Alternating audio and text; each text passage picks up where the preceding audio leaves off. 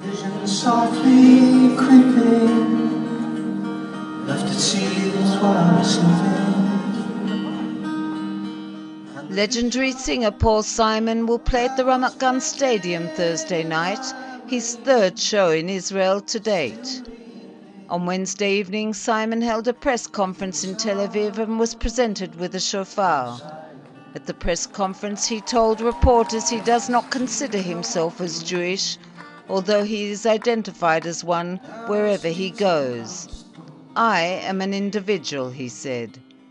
Simon said he wished he'd had time to stay beyond his brief visit, but has to move on to his new project, a documentary about the 25th anniversary of his Grammy winning album Graceland.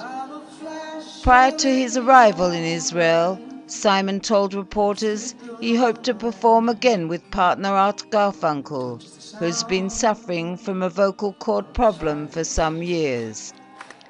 Simon first performed in Israel in 1978 and then returned with Garfunkel to perform in 1983.